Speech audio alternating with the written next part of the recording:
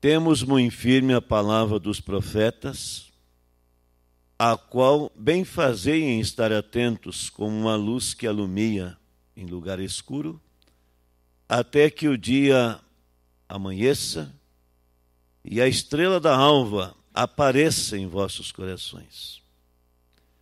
Sabendo primeiramente isto, que nenhuma profecia da Escritura é de particular interpretação, porque a profecia nunca foi produzida por vontade de homem algum.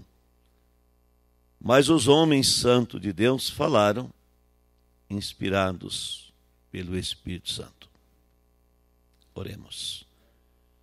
Amado Pai, no nome santo do Senhor Jesus, nós te pedimos agora que nos ajude enquanto vamos falar a tua palavra nessa noite, que o Senhor possa nos ajudar, abençoar essa congregação nessa noite fria que se congrega nesse lugar, bem como aqueles que estão na conexão através da internet, que o Senhor seja com eles, que o Senhor os abençoe, que o Senhor os sustente e que o Senhor fale pelo teu Espírito dando entendimento, revelação, porque é isso que precisamos, Pai.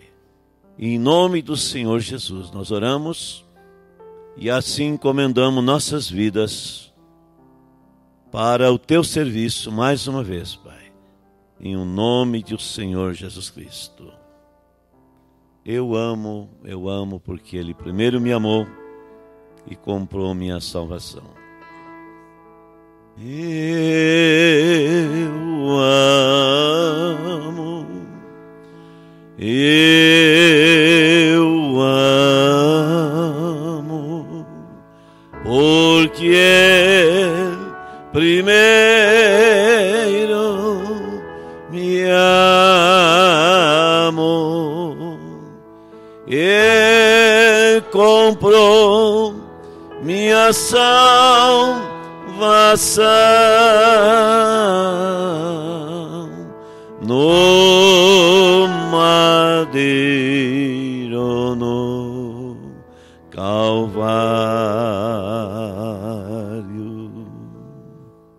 Podeis assentar, irmãos.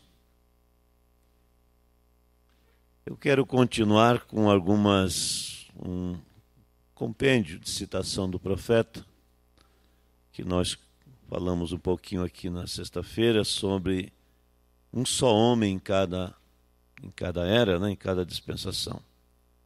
Deus tem uma voz em cada era. Mas antes de nós começar a ler, é,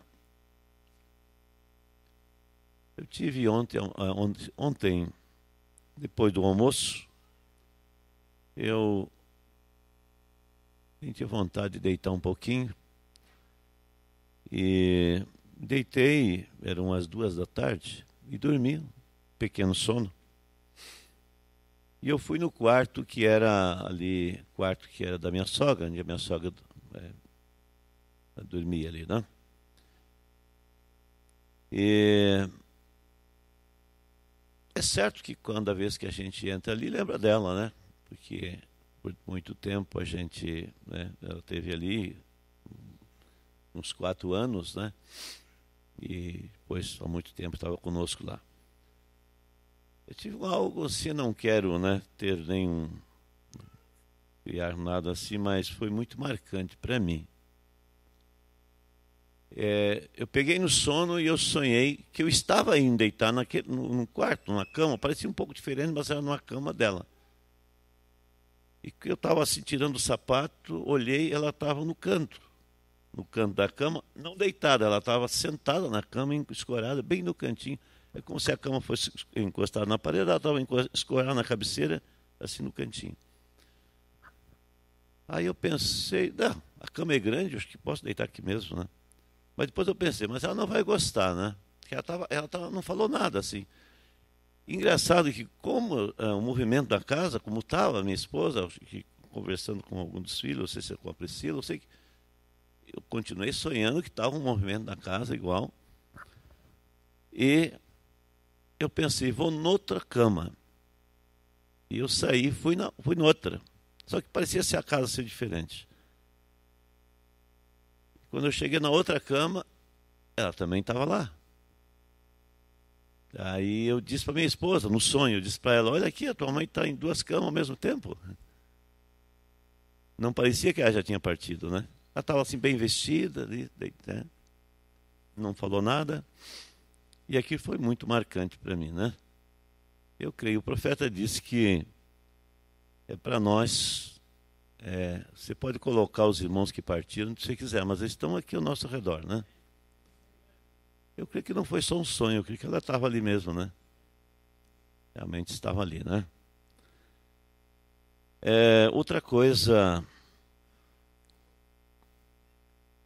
vendo os acontecimentos, as coisas que estão acontecendo, estava vendo, é, vendo um vídeo, foi postado de uma um, provas científicas que eles chamam o cinturão de fogo do Pacífico, eu creio que é isso, né? Não sei se alguém viu. É um cinturão né, de, de, de fogo mesmo que está ao redor de toda a borda do Pacífico, né? Então, falando desse terremoto, de, de é, não, não, terremoto, mas propriamente o, o vulcão que está acontecendo agora na Guatemala, não é? Não. Guatemala, né? já matou centenas de pessoas e está destruindo né, lugares de grande extensão. Em outro lugar, então, eu estava dizendo, mostrando as experiências científicas, que no sul do Japão, no mar, no sul do Japão, é, a ciência, eles conseguiram né, detectar, viram que no fundo do mar está rachando, está né, tá abrindo a terra. Né? E né, isso, isso, com os sistemas que eles têm hoje de, de grande capacidade para filmar, para penetrar, né, com, e eles puderam ver que há um bolsão, não, não seria a palavra, mas uma extensão muito grande de fogo fervendo ali, né? Falaram de 600 metros de altura, se eu não me engano, ou é mais, por 10 mil metros de largura e que aquilo parece, parece assim estar tá para explodir a qualquer momento. Eu disse, eu disse lá, não me esqueci agora, é, centenas, centenas de milhares de mortos e que isso com, com, é, produzirá uma, uma um chamar do inverno, porque isso subirá muita fumaça e cinza que vai vai tapar o, o, os céus por bastante, vários meses, né?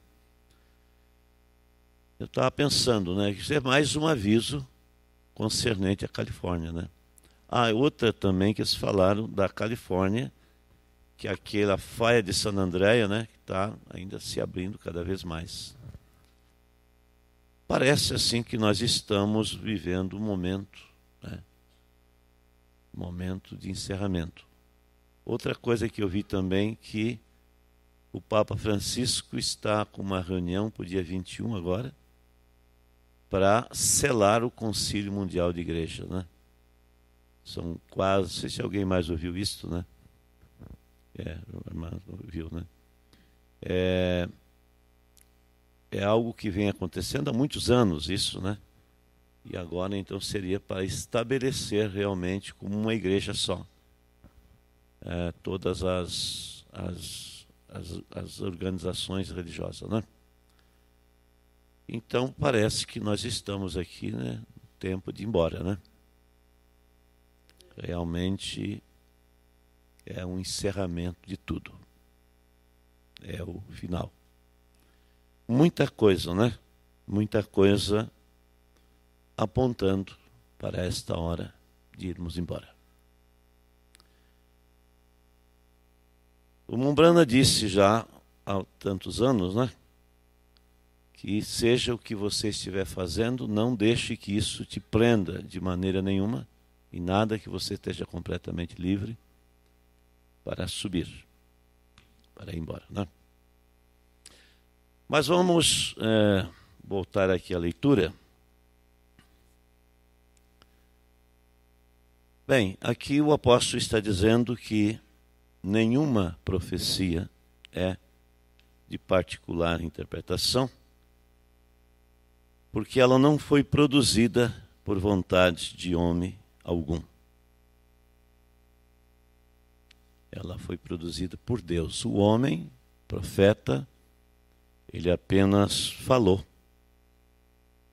aquilo que Deus mandou falar. Às vezes, em certos momentos, nem ele mesmo entendeu, né? O, o, eles, né, os profetas, entenderam quando realmente falaram. Mas eles falaram porque o Senhor mandou falar, né? Ah, eu parei aqui na sexta-feira é, exatamente num parágrafo que vou ler agora, que causa, né, tem causado pano para manga, como diz, né? É a mensagem Não te estribe em teu próprio entendimento, pregada em 20 de janeiro de 65, no parágrafo 189 e 190. Eu não estava confiando em nenhuma habilidade que eu tinha. Eu fui comissionado, aleluia, aleluia. Eu fui, eu não fui raciocinar. Quer dizer, eu não pensei como isso podia ser, né? Eu não fui raciocinar. Se eu tivesse dado ouvido às vozes, eu teria provavelmente havido milhares de pessoas mortas anos atrás. Mas eu levei uma mensagem, exatamente como ele disse. Em redor e em redor do mundo. Aqui vem a questão. Eu vou de novo pela graça de Deus. Não por razões, senão por uma comissão. Aleluia. Eu não me estribei. Você diz, você tem 55 anos de idade. E se eu tivesse 95? Isso não quer dizer nada. Ele ainda é o mesmo Deus que era com Abraão. Sim, Senhor, não te estribes no teu, no teus, nos teus próprios entendimentos. Amém. É, há coisas que nós não entendemos. Ele não foi ao redor do mundo. Né? Agora, o que nós porque isso aqui foi uns meses né, antes da sua partida. Agora, eu, depois de tantos anos na caminhada nessa mensagem, tenho visto quantas brigas, guerras têm sido feitas e têm causado danos. Né? Então eu penso que coisas que se diz ao futuro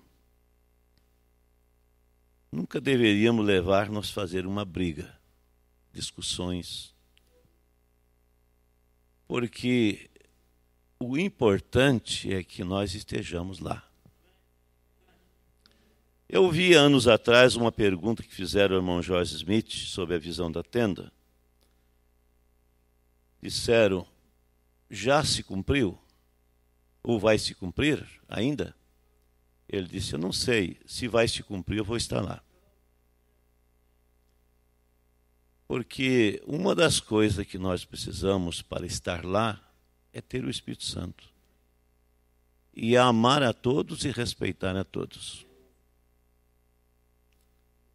É isso que eu vejo do irmão Brana. Né? É isso que eu vi no profeta até o final da sua caminhada. É,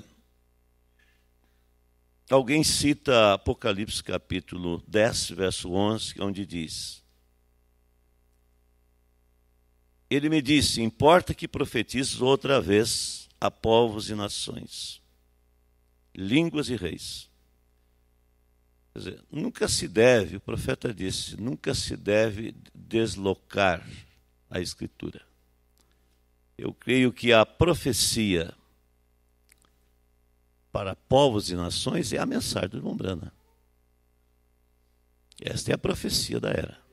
Outros dizem, não, o irmão Brana não pregou isto. O irmão Brana só pregou Apocalipse 10, 1 ao 7. Não. O que é profetizado para povos e nações é a mensagem do profeta. Não há não há outra mensagem, né? Não há uma mensagem da noiva e uma mensagem do irmão Brana. Não. Então a mensagem do irmão Brana não seria para a noiva, não. A mensagem do irmão Brana é a mensagem que a noiva prega, né? Agora na mensagem, é, na mensagem humilha-te, mensagem humilha-te, é, antes de ler, você nunca pode pegar uma, uma citação, uma citação uh, separada e criar uma doutrina com aquilo. Você deve pegar o texto inteiro. Eu vou ler aqui o parágrafo 53 da mensagem é, que foi pregada em, em 14 de julho de 60, 63. Diz o irmão Brano aqui. É o 53. Agora, para mim mesmo, eu estou pregando para mim mesmo aí.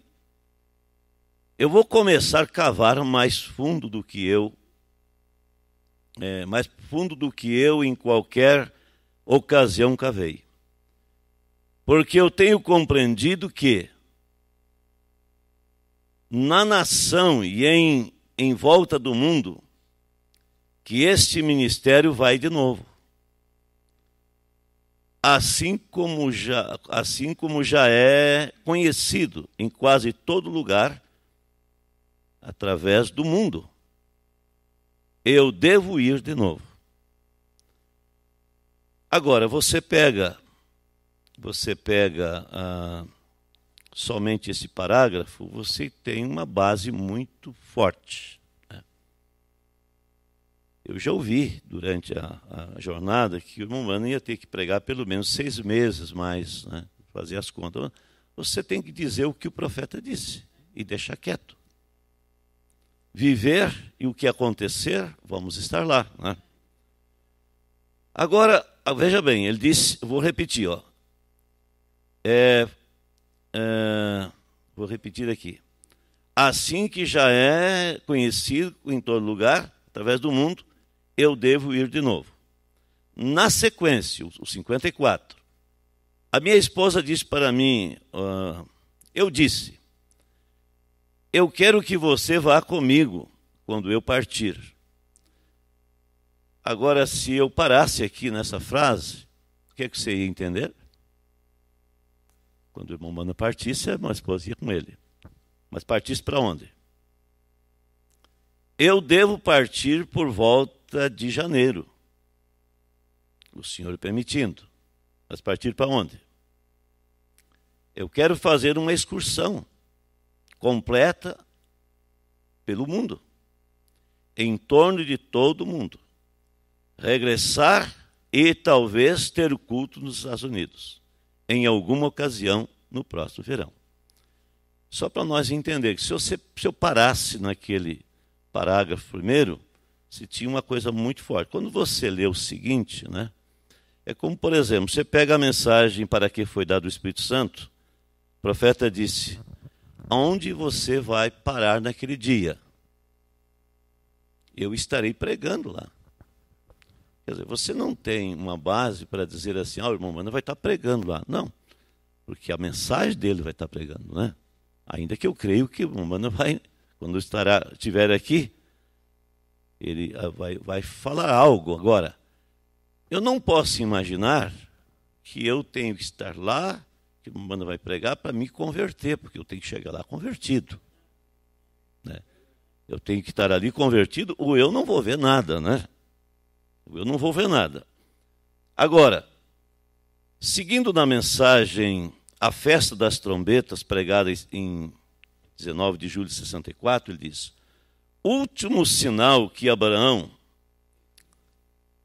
somos a, é, entre, entre parênteses, somos a semente de Abraão, a noiva. O último sinal que Abraão viu antes do sinal prometido chegar, o filho prometido veio, que foi Deus na forma de um ser humano que podia discernir os pensamentos do povo. Um homem, não uma dúzia, um homem. Sempre lembrando que Deus sempre teve um homem. Agora, baseado nisso aqui, saíram batizando em nome do irmão Brano e dizendo que o irmão Brano, e estão dizendo ainda hoje, né? que irmão Brano era o próprio Deus, né? que era o novo nome de Jesus Cristo, era William Brana ainda que nós cremos com toda certeza que Deus se manifestou pelo irmão Brana, mas não, ele não deixou de ser um homem. Ele não era Deus, era Deus manifestando-se no homem. Não importa quantas personificações, eles tiveram um. E ele discerniu os pensamentos que estavam ali. E então? Ele pergunta: e então? A coisa seguinte aconteceu. Abraão e Sara voltaram a ser um homem e uma mulher jovem. Nós sabemos disso. Agora, eu sei que isso te coloca um pouquinho agora, mas recordem, apenas para que você tenha certeza que sabe agora. Você não lê a Bíblia assim. Você lê nas entrelinhas, vê, fazendo o quadro vir. Eu observei, o melhor, não observei não, observem. Sara era uma mulher velha. A Bíblia diz que eles, seu ventre estava morto. É isto que é, é, é isto certo? A vida de Abraão estava morta nele, a sua semente é isto correto? Agora recordem: a semente de Abraão estava morta. 40 anos mais tarde, ele teve sete filhos com outra mulher. O que ele fez? Ele transformou seus corpos. Amém. Ainda seguindo na, na, na festa das trombetas. Deus transformou seu corpo voltando ao passado. É um mistério que é para ser revelado agora, nesse dia, pelo Filho do Homem. A mensagem do entardecer. Aquele último sinal que ele viu, o que eles viram, foi o quê? Aquele discernimento antes de chegar à mudança do corpo. Quer dizer, o Mombrano está mostrando o ministério dele, que Deus o deu, o ministério de Cristo no homem, que foi o discernimento que nunca houve um homem a não ser o Senhor Jesus Cristo e o ministério desse dia, o sétimo anjo, que conhecia o segredo dos corações. Existem dons, muitos dons, mas como aquele não porque aquele é o ministério do Filho do Homem. Num homem. Para você entender bem, lendo a mensagem, eu havia ouvido, mas agora vejo, o profeta disse: é o ministério do Filho do Homem num filho de homem. E assim, antes de poder receber o filho, o que aconteceu? A trombeta de Deus soará. Os mortos em Cristo se levantarão primeiro o novo corpo. E nós, os que estivermos vivos e permanecermos, seremos mudados num abrir e fechar de olhos. E seremos tomados juntos para encontrar o Senhor nos ares. É isso que eu espero. Aleluia. A voz do Filho do Homem penetrará ali e nos chamará, né? nos tirará da sepultura.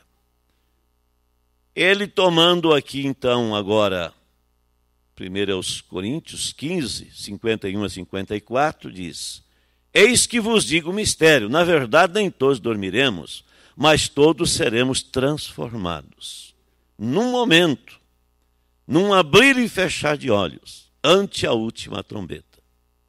Porque a trombeta de Deus soará, e os mortos em Cristo ressuscitarão incorruptíveis, e nós seremos transformados. Porque convém que isto que é corruptível se revista da incorruptibilidade, e que isto que é mortal se revista da imortalidade.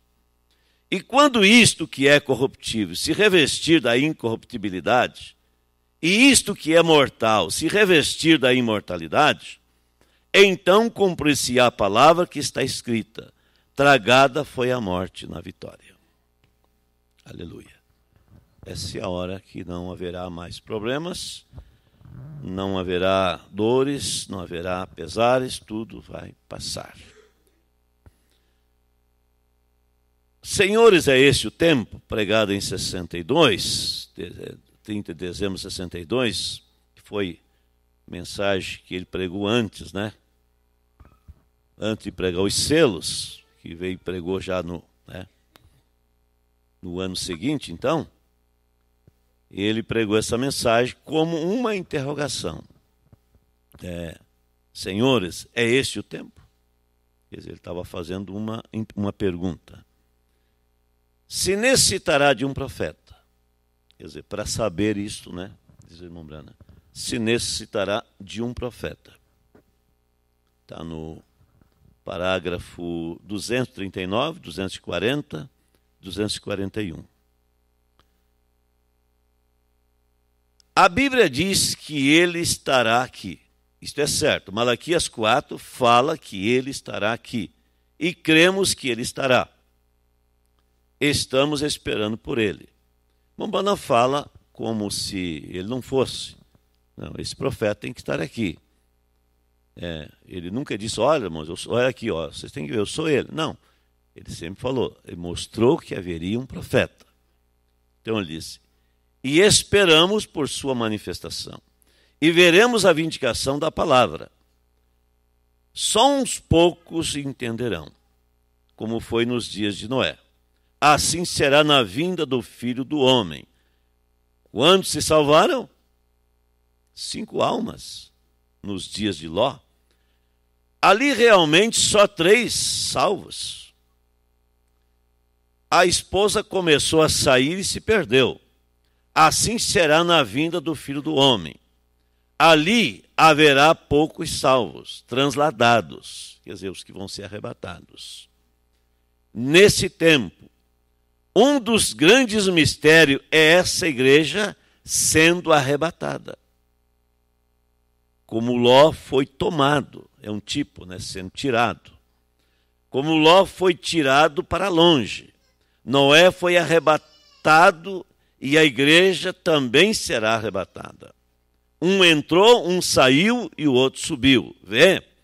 É exatamente perfeito. A palavra veio. O livro que está escrito por dentro e é então completado. Quando todos esses mistérios tiver terminado de soar. Aleluia. Agora na mensagem ouvi, mas agora vejo, pregada em 27 de novembro de 65, o próprio Criador, isso aqui foi um pouquinho antes da partida, né? Ele, ele teve o um acidente no 18, né? Menos de um, menos de um mês, né? Dia 18 de dezembro, né? E aqui foi em novembro. Melhor, é, é isto, é um pouco menos de um mês. Ele diz assim: o próprio Criador, o próprio Criador, ele mesmo, quando recitou a Lázaro dos mortos, ele disse: não achais estranho, pois a hora chegará quando todos que estão na sepultura ouvirão a voz do Filho do Homem e sairão. O próprio Deus que disse: haja luz, que eh, disse que a voz do Filho do Homem despertaria aqueles que estão na sepultura. Na sepultura. Amém. Isto tem que acontecer na hora certa. Ele falou: haja macho e fêmea, e assim por diante. E tudo isto, anos e centenas de anos antes disto acontecer. Agora nós, é, ainda da mensagem eu ouvi, mas agora vejo, é, do, 112, é ele diz: Agora nós observamos aqui em Lucas capítulo 17, verso 30, que ele disse que nos últimos dias o filho do homem se revelaria como ele fez um pouco antes Sodoma e Gomorra. E as mesmas condições existiriam. Ele falou sobre Moisés. É, me disse queira me perdoar. Sobre Noé. Como o povo estava comendo, bebendo e assim por diante. Casando e dando-se em casamento. E então ele chegou. Ele disse: Agora, como foi nos dias de Ló? Então assim também será quando o filho do homem estiver sendo revelado. Agora observe: filho do homem foi revelado para o grupo de Abraão, como um homem, um profeta, na forma de carne humana, um homem comum, com poeira nas suas roupas. Abraão o chamou de Elohim. É, muitos tomaram isto e e ainda hoje fazem, né? Dizendo que o Mombrana é o próprio Jesus, dizendo que ele, né? O nome de Jesus é William Brana e tanta coisa, batizando o nome dele. Tudo porque tentaram interpretar o que o profeta disse. Né? Não interprete nada, ele disse, viva. Não queira ser nada mais do que uma joia na coroa de Cristo. Viva a palavra e você estará lá, né? Seja o que vier a acontecer, seja o que vier a acontecer, vivamos a palavra. Porque eu preciso estar vivendo a palavra para estar lá. O profeta disse: sempre haverá um, um elemento desconhecido. O problema é quando nós tentamos interpretar aquilo que o profeta não interpretou. Né? Ele disse que nós estaremos aqui um período, 30, 40 dias, que vai repetir.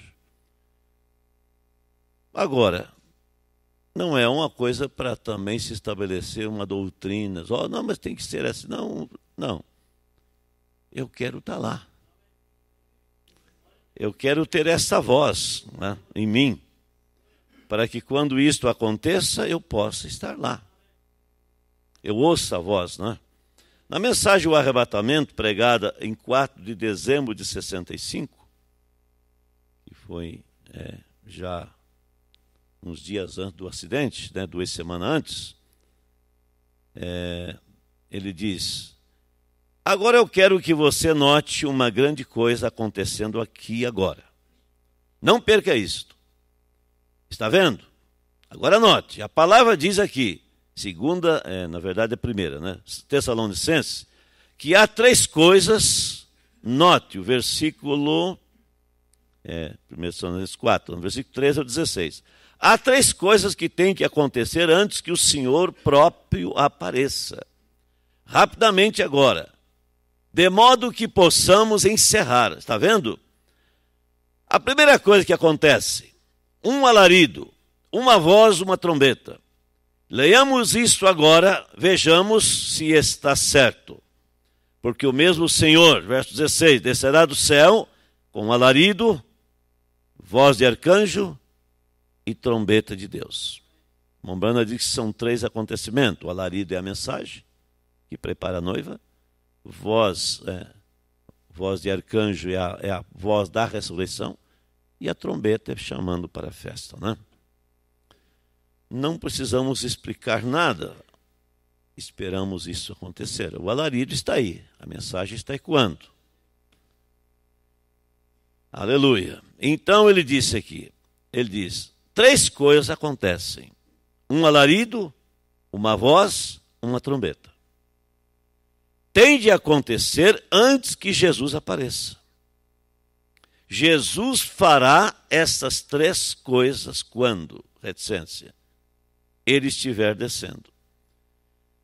Significa, se entende então, que quando começou a mensagem, começou a vinda de Cristo. Jesus está executando isto. Quando começou a mensagem, quando não a mensagem propriamente evangelística, que foi um preparativo, mas vamos dizer assim, quando a palavra mesmo foi aberta, né, e veio realmente a preparação para a mensagem, não, não o trabalho evangelístico propriamente que saiu pelo mundo, que era a isca que o, Senhor mostrou para ele, mas eu penso que quando a palavra foi aberta para a noiva, ali estava acontecendo a, a primeira parte da vida de Cristo. Aqueles que dizem hoje, não, Jesus já veio em 63. Mombrana diz, ele apareceu. Uma coisa ele disse, uma coisa é aparecer, outra coisa é ele vir. Ele diz, diz em vários lugares isso, né? Um alarido, o que é um alarido? É a mensagem saindo. Quer dizer, veja bem, vou ler de novo. O mesmo Jesus fará essas três coisas. E ele disse: quando estiver descendo. Um alarido. O que é o alarido? A mensagem, primeiro. O pão vivo, o pão vivo da vida que produz a noiva. Quer dizer, o pão, a mensagem, produz a noiva. Agora, Deus tem uma maneira de fazer essas coisas. Ele nunca muda sua diretriz. Ele nunca muda sua. Ele é o Deus imutável. Amós 3,7 através de um profeta. Agora ele disse que não faria coisa alguma na terra até que primeiro revelasse seus servos profetas. É exatamente tão certo quanto ele prometeu isto, ele o fará. Agora, aí pegamos isso e vamos para ir fazer proselitismo, olha aqui. Você tem que crer que o Mambrana vai chamar os mortos. Mas nós não temos que fazer isso. Deixe isso acontecer.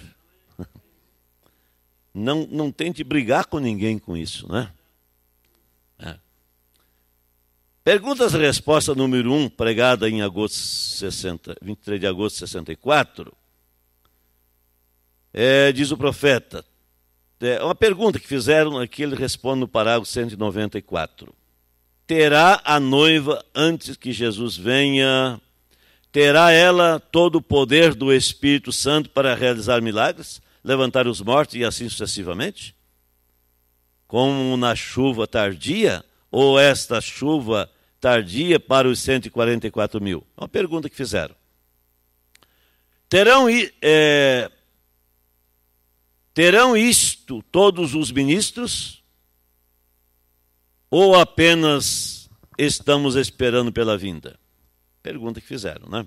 Ele passa a responder: Qual foi o último sinal que eles tiveram antes, antes que regressasse esse filho prometido, pelo qual esperaram todos esses anos?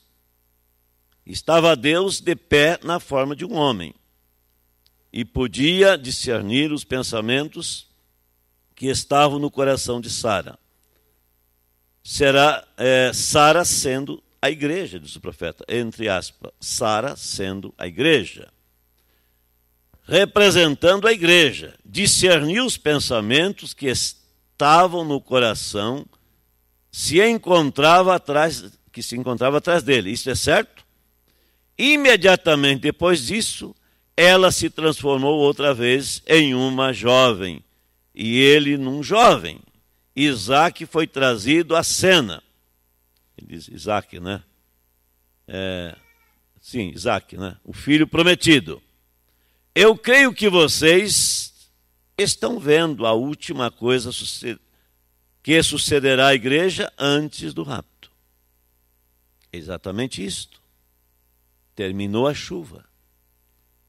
Mombana disse que não haveriam grandes avivamentos mais. E que alguns iam tentar fazer, produzir grandes avivamentos. Você vê que, por mais que você se esforce e trabalhe, você vê que à noite você não vê assim multidões vindo. Há, um, há pessoas trabalhando com grandes afinco, dedicação, e não se vê grandes conversões. Porque é, a noiva é aquele, é o indivíduo, é individual. Ele capta e vem. É, então, ele disse, mostrando que isto aconteceria, aí é onde acontecem os milagres, irmão Brana. Ah, vamos, vamos ler de novo. Isto é, quando Moisés e Elias, aí acontecem os milagres, as coisas pelas quais têm estado buscando as pessoas, os pentecostais, milagres. Aí onde acontecem os milagres. É aí onde acontecerá isso. Sobre eles, Moisés e Elias. Vem esses de Elias e Moisés. Quer dizer, a pergunta é: terá outros ministros fazendo grandes milagres? Não. Tudo bem, se você for pregar, sempre vai ver milagres, vai ver. E principalmente para a noiva. Você tem que entender: uma coisa é o que está lá fora, outra coisa é a noiva que captou a mensagem. Você é guardado. Você é guardado. É, você recebe uma cura. Estava lendo hoje ainda, Mombrana dizendo que você tem que admitir que o seu fim chega. Hoje de tarde eu estava lendo. Você tem que admitir que o seu fim chega. Você vive o seu tempo e você vai embora você cumpre sua tarefa aqui, você vai embora. Mas não é aqueles grandes campanhas. O que estava perguntando era isso. Eles viram grande ministério, Mombranda fazendo aqueles grandes milagres e perguntaram se haveriam outros fazendo isso depois. Terão eles, os, todos os ministros, isso? Não. Esses grandes milagres vão acontecer com Moisés e Elias depois, que vai ser lá para os judeus, né? que a porta vai estar fechada para os gentios. Então, nós não estamos em busca de grandes milagres, busca de conversão, de captar a mensagem, viver a mensagem. É. Não vamos fazer grandes campanhas de cura porque. Não, não é isso. Vamos pregar a palavra. Uh, o anjo e a sua comissão pregou em, isso aqui já foi lá no início, né, 47. Ele diz: Agora notem, quando o povo de Israel havia ido do Egito, havia saído do Egito, haviam entrado na, na o melhor ido, ido, é, havia ido do Egito e haviam entrado na escravidão por 400 anos, quer dizer, ido para o Egito, né? o qual ele já lhes havia dito a Abraão que eles, quando se aproximou o tempo da promessa, então eu quero que vocês notem, agora notem, como é que quando se aproximou o tempo da promessa, o povo começou nesse tempo a ver que algo lhes havia sucedido, uns problemas Deus quase sempre faz que venham problemas para juntar o povo. Deus quase sempre faz que venham, venham problemas para juntar o povo.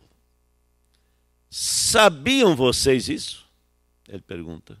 Que tem que vir problemas para juntar o povo? Sabia que às vezes tem que morrer alguém da família para juntar, às vezes um pai, uma mãe, para os filhos se ajuntarem. É, muitas vezes acontece isso, né? Então ele disse: Eu creio que haverá um tempo quando não haverão mais divisões entre o povo de Deus.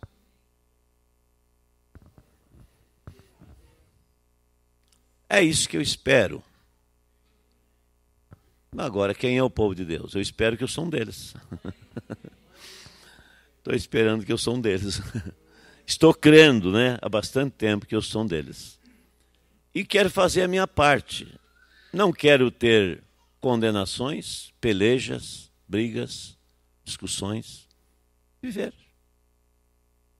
E esperar isto. E pregar a palavra. É. Ah, eu pertenço a essa igreja. Eu pertenço àquela. Quer dizer, naquele tempo que o Umbanda falava, eram as denominações. Hoje, não é as denominações. Hoje você diz, eu sou da mensagem. Eu sou lá de Caxias. Olha para você assim, né? Ou sou lá de tal lugar. Ah. e, veja, os irmãos estavam ali na Argentina, né? vou usar o nome da irmã Rosana, né? E um pastor foi falar com ela em Buenos Aires, né? Depois também falaram com o irmão Pedro também, né? Dizendo assim, vocês estão em Caxias? Não, mas você não pode estar com o pastor Neri. Você tem que estar com outro lá, né? E insistiram, né? E para que isso? Para que isso, né? Não, se alguém disse que está com o pastor falando, seja fiel ao seu pastor, né? Eu creio que a perseguição ajuntará toda a igreja redimida de Deus. E seremos um em Cristo Jesus. Você quer ver como vai terminar? Deixa vir um, um concílio aí, firmar mesmo e dizer, fechar a igreja, não ter mais culto. Os cristãos estarão se procurando por aí, né? E já não terá um. Tá, né? O profeta disse que vão colocar ali um, uma, uma placa dizendo fechado. E daí? Terminar, vai terminar toda a divisão daí. E então ele a levará para casa. Agora, não discutiremos se esta doutrina é correta ou se aquela é correta. É isso que eu quero dizer. Não é discutir pontos aqui, olha, como é que vai ser? Será que vai ser assim? Será que. Não. Vivamos a palavra como ele disse e vamos estar lá. Agora notem, então, no tempo, quando se aproximou a promessa, se levantou um faraó que não conhecia José. E eles puseram carga sobre o povo. E o povo estava tão esgotado que não podiam fabricar tijolos e coisas que deviam. Então, Pensam vocês que Deus afligiria a seu povo dessa maneira? Sim. Sim. Porque a palavra de Deus é eternamente verdadeira. E é correto isto. Ele prometeu que os libertaria. E não tinha outra forma de fazê-lo senão desta maneira: perseguição, pressão. Estamos muito folgados e nós não sabemos viver folgado, né? Assim que então, no tempo da perseguição de Israel, Deus fez que um anjo viesse à terra. Porém, antes que ele fizesse que o anjo viesse, ele tinha ali um rapazinho que havia nascido chamado Moisés. É correto isso? E esse rapazinho, Moisés, teve um nascimento bastante peculiar.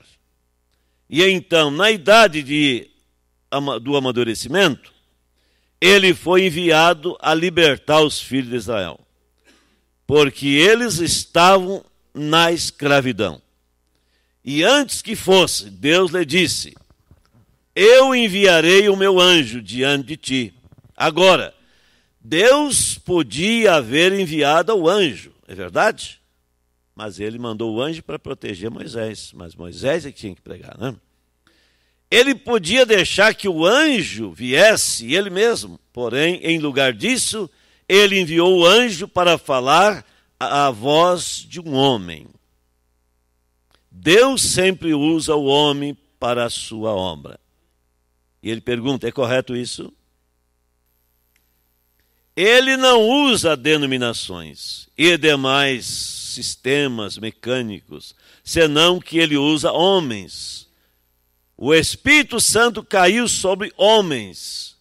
Esse é o instrumento de Deus aqui sobre a terra.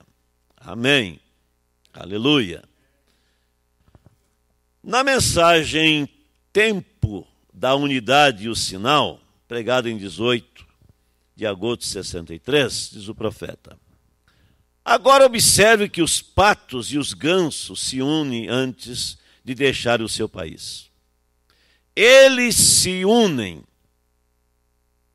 Você pode tê-los voando desta lagoa para aquela lagoa e daqui para lá. Todos eles se ajuntando, eles estão se unindo, aprontando-se para a partida. É simplesmente. Isto é a natureza. E Deus criou a natureza. E a natureza age através dos planos de Deus. É uma lei. É uma lei não escrita de Deus. A natureza age de acordo com as suas leis. Os patos se ajuntarão, todos eles se reunirão, reunirão um líder. Lá eles, de alguma maneira, saberão eu não sei como eles fazem isso, mas eles sabem que determinado patinho é o líder. E aquele pequeno companheiro, todos eles se ajuntam, se reúnem bem ao redor dele e se levantam para o ar. Agora, ele nunca havia saído daquela lagoa, mas ele irá diretamente para a Louisiana ou para o Texas, onde ele possa ir no arrozal. Vem, antes que eles tomem o voo, para deixarem suas casas onde haviam nascido naquele ano. Eles se ajuntam primeiro. Mas não está querendo falar sobre os patos, mas está tomando o exemplo dos patos para mostrar o que Deus faz. A noiva estará junto também. Deus a juntará. Aí está você, junto ao redor de seu líder. O problema está em que o homem não conhece o seu líder. Sim, Senhor. Eles se ajuntaram ao redor de uma denominação, eles se ajuntaram ao redor de um bispo ou de um homem, mas eles não se ajuntam ao redor do líder, o Espírito Santo e a palavra. Vem, eles dizem: ó, oh, bem, eu tenho medo de ficar um pouco fanático. Eu tenho medo de levantar com o pé errado. Ó, oh, aí está vocês, ou está você, melhor. O que seria se o pequeno patinho dissesse: Eu simplesmente não gosto da maneira que ele mantém as suas penas. Eu creio que ele não seguirei. Eu creio que eu não seguirei ele. Ele vai morrer de frio você será apanhado lá, lá em cima, se você não toma o, o voo quando ele for. Isto une a si mesmos, e a natureza faz isso. Os gansos se unem, se reúnem ao redor do seu líder. Eles o fazem a mesma coisa. Seguindo na mensagem de união invisível da noiva, pregada em 25 de novembro de 65, ele, no parágrafo 137, 138, ele diz: Deixe que o Espírito Santo esquadrinhe a sua consciência e estará de acordo com Daniel é, 5 e 12.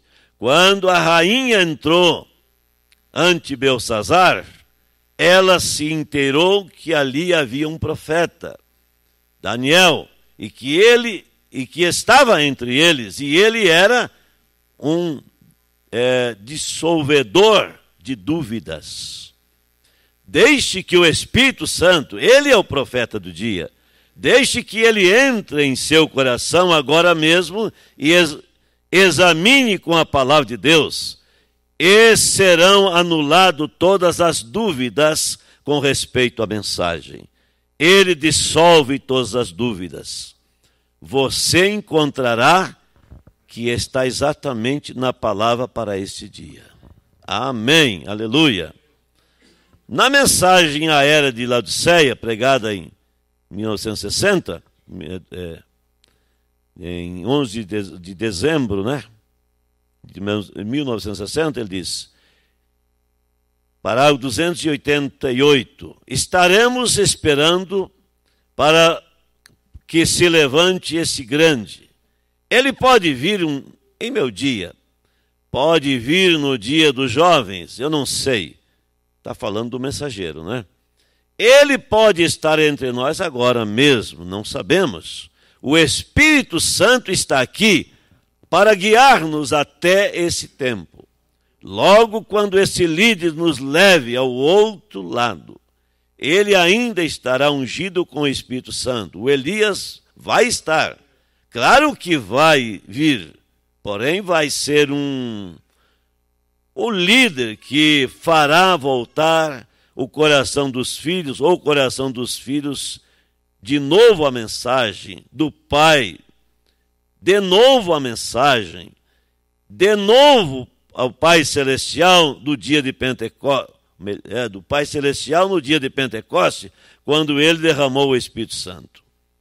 Mensagem de eventos modernos esclarecido por profecia, 6 de dezembro de 65, ele diz, parágrafo 278, 279, temos tido Elias e capas e tudo mais, e mantos e todo tipo de bobagem que redu, re, reduziu em, em organizações com tudo mais.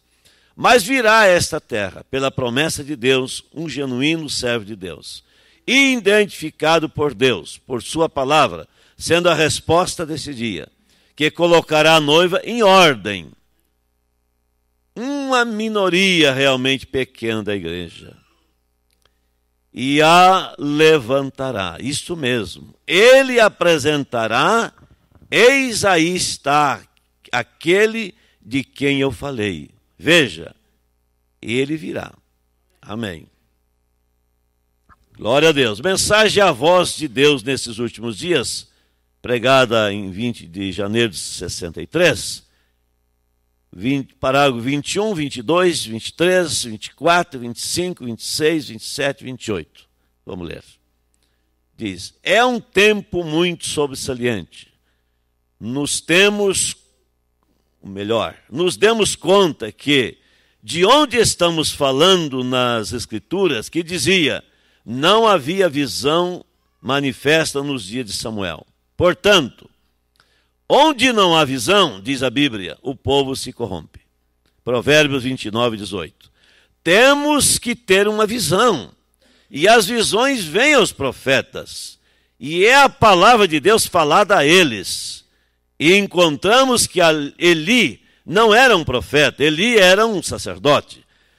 E ele estava envelhecendo e seus olhos já não viam com claridade, não podiam valer-se por si próprio pelos os arredores.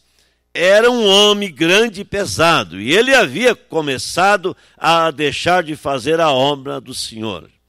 E é, isto é algo igual ao que é hoje.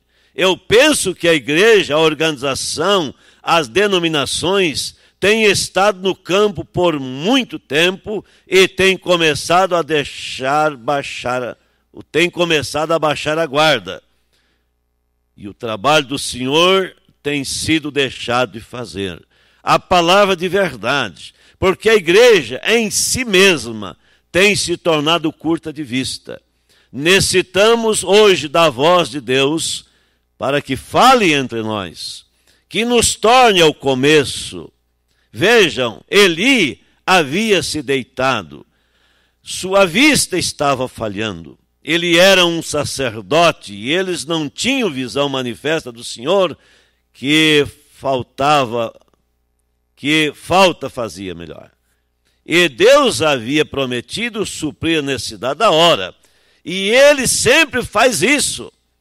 E nós necessitamos a voz de Deus hoje para suprir a necessidade da hora, para cumprir ao tempo em que estamos vivendo. E desde que ele tem prometido, podemos ter segurança de que ele guardará sua promessa. Essa é a confiança que o crente tem em seu feitor, que ele prometeu suprir a necessidade. E hoje, uma razão por que a igreja está na condição em que está é porque há tantas vozes, tantas outras vozes para separar a igreja da voz de Deus. Até que se até que se faz duvidoso que muitos ouvirão a voz de Deus, ainda que seja falada exatamente no meio deles. Eles talvez nem sequer a entenderiam, porque ela seria algo estranho para eles. Eles têm se concentrado muito nas vozes do dia. E se notarmos em nossa leitura da, da Escritura, vamos ver que a voz de Deus era estranha para eles. E tem vindo a ser dessa mesma maneira hoje novamente, que a voz de Deus, há tantas outras vozes, e logo se Deus prometeu que Ele nos daria isto, e se outras vozes são contrárias à voz de Deus, então elas devem ser a voz de nosso inimigo, para nos confundir, para que nós não, não entendemos a voz de Deus quando ela, ela fala. Aleluia. Eu, bom ouvir isso aqui, né? Então, se você se você notar, o profeta está dizendo, né, que ficou uma coisa duvidoso até as pessoas para ouvir a voz de Deus nesse dia. Tantas vozes. Naquele tempo era a denominação. Hoje não é, você não está aí, eu acho que ninguém da mensagem está aí preocupado com a voz da denominação. Mas são as vozes dentro da mensagem, supostamente da mensagem. Um diz, tem que ser assim. Ou eu tenho abertura da palavra, ou eu tenho isto, ou eu tenho aquilo, ou Jesus já veio, ou não tem mais sangue, ou terminou a redenção, ou mas não sei o quê. Você tem que se deter no que o profeta disse. Você não tem que ficar ouvindo vozes, né? porque isso é o que o profeta disse. Isso é um inimigo para desviar a sua atenção da voz de Deus. Só há, veja que o que falamos antes. Deus só tem uma voz para cada era. É a mensagem. Não importa que o homem faça descer fogo do céu. Não importa quantos milagres ele possa realizar. Só há uma voz. Se negou a mensagem, não. Essa mensagem é a minha vida. Eu jamais abriria a mão dela, jamais abriria, né? Quanto Deus me mantiver aqui, porque ela é a minha vida. Quando eu ouvi, eu agarrei. Creio no que posso entender, no que eu não posso entender, não vou interpretar nada, não vou dizer, ah, vai ser assim, o assado. Não, vai ser o que o profeta disse. Vai ser o que ele disse, não é?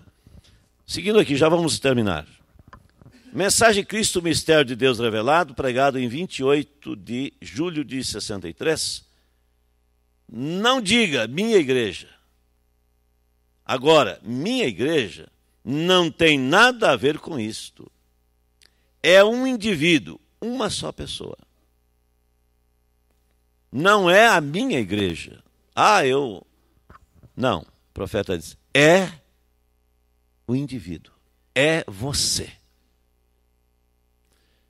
E nós que vivemos, vamos assim, mais antigamente, como eu comecei, eu sei o que é. Eu não fui, não foi um grupo. Eu ouvi a mensagem e eu decidi. aceitar a mensagem. Não foi fácil. Demorei até. Eu, já podia ter aceitado talvez um ano antes. Mas eu me assustava, mas foi para um ponto que Deus me apertou tanto que eu tive que aceitar. E essa mensagem é a vida, é a nossa vida.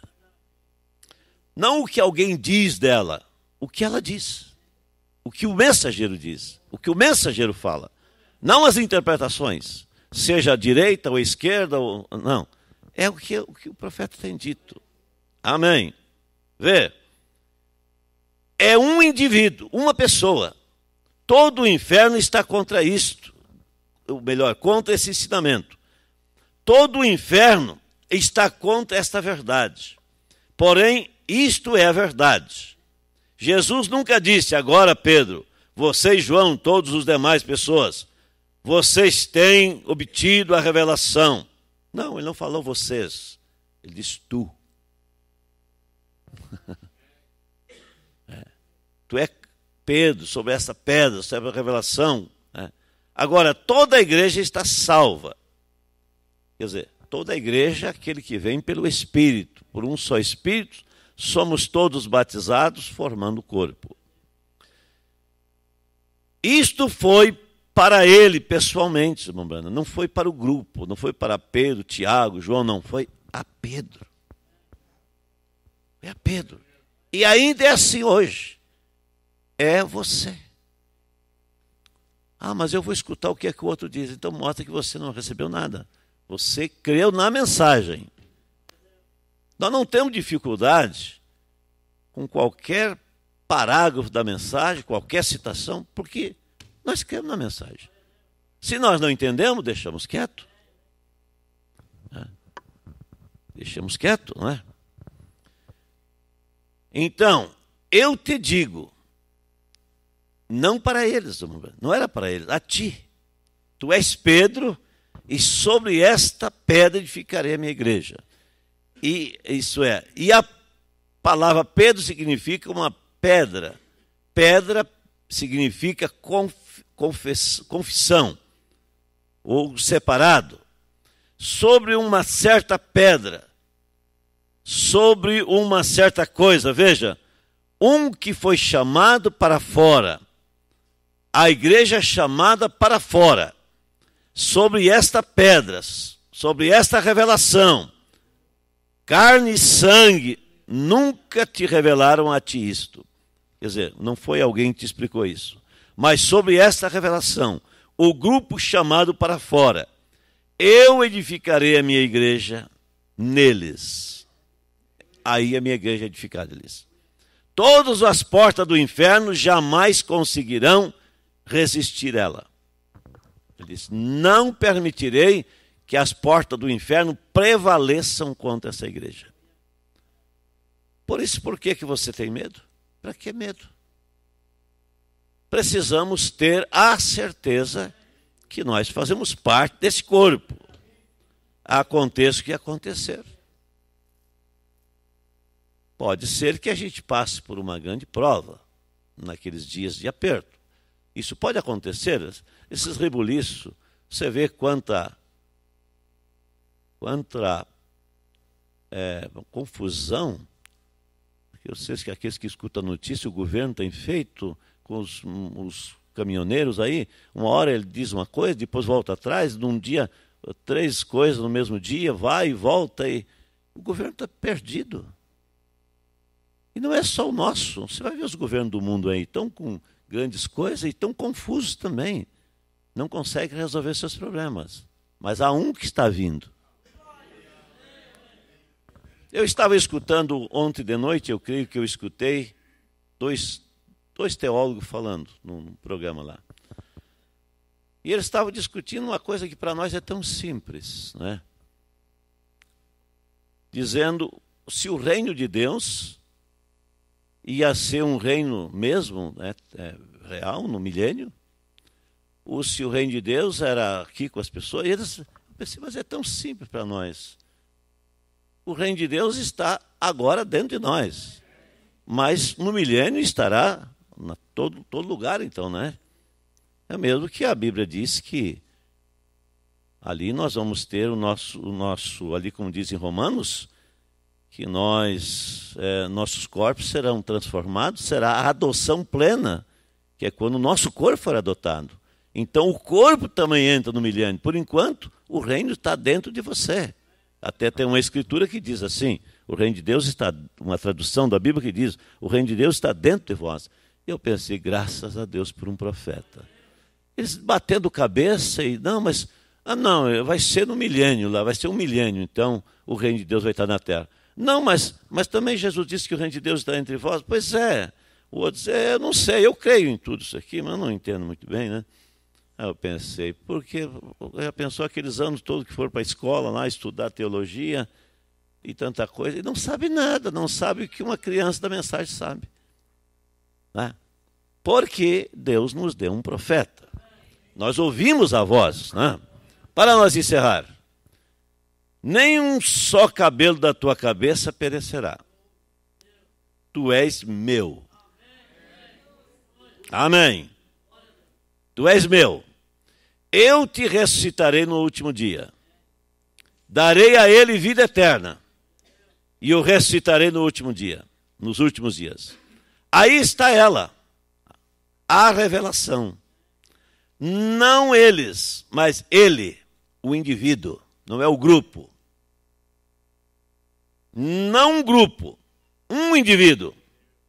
Todo o inferno está contra isto. Porém, seu mistério é somente revelado à noiva amada. É a única que poderei é a única que poderei vê-lo. Né? Ele se revelando para a sua noiva amada. Né? Isso, aleluia. Isso foi na mensagem, só para citar aqui, Cristo, Mistério de Deus Revelado, parágrafo 490, 491, 492 493, 494, 495, 496. Vamos parar o que eu li de Cristo, mistério de Deus revelado. É, a questão é esta: viva a palavra, não te preocupe que as demais coisas acontecerão. Vamos nos colocar de pé? Eu pensei de ler essas citações não para nós criar ou fomentar doutrinas, ideias e brigar, não, para terminar com as brigas. Deixe a mensagem como ela é. Vamos viver a mensagem. Vamos viver ela. E você não tem que responder pelo outro, tem que responder por você. Eu sei o que é isto. Eu tenho visto nesses quarenta e tantos anos que eu tenho estado na mensagem, Quantas guerras, brigas, discussões, um julgando o outro, brigando, ministros se condenando, batendo, os membros por causa do pastor, brigando, discutindo, fazendo proselitismo. O que, que deu isso? O que, que resultou? Pessoas escandalizadas e, e quebradas, grupos. Não. Viva você a mensagem e deixe o outro. Quem sabe ele pode ver o seu testemunho e ver que você tem algo mais. Não condene ninguém. Simplesmente viva você a mensagem. Sublime graça do Senhor e vamos orar. Sublime graça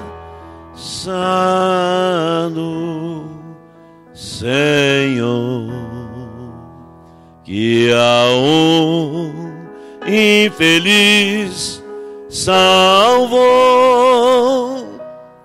Eu cego fui, mas vejo já perdido ele me achou. Oremos, Pai Celestial, que o Senhor possa tomar esses parágrafos, essas pouco que lemos nessa noite, e ajudar teus filhos a abençoar, Que ninguém pegue isso e diga, ah, isso quer dizer isso, isso quer dizer aquilo. Quer dizer o que ele disse. Ainda que entendamos ou não entendamos. É o que ele disse. É o que o Senhor falou através do mensageiro. Abençoa-nos nessa hora e prepara-nos, Pai, para o encerramento, porque vemos que o tempo está se encerrando. Oh, em nome de Jesus, se há mais alguém para ser acrescentado, Pai, que o Senhor acrescente e o traga e o coloque no corpo. Aqueles que estão na igreja, mas ainda não estão no corpo, que seja trazido depressa e colocado na sua posição, dando-lhes essas virtudes do Cordeiro, começando com fé, ó, com virtude, conhecimento, temperança, paciência, amor fraternal, chegando a ter o Espírito Santo, chegando a ter Deus dentro de si. Em nome de Jesus, nós oramos, Pai, e te agradecemos. Abençoa nosso serviço nesse final de semana. A tudo entregamos nas tuas mãos, Pai, confiando somente na graça e misericórdia de nosso Pai Celestial. Em nome do Senhor Jesus. Deus os abençoe.